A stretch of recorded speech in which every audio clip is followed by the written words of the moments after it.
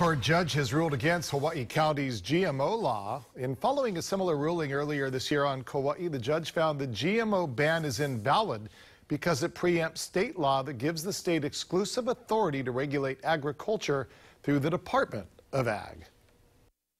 They just said, you know, ban everything. So, but we should be looking at it by in a, in a case by case basis, and, and, be real specific and, and you know, uh, about each each particular thing we're trying to do because because like you know it's, it's it's a very broad subject.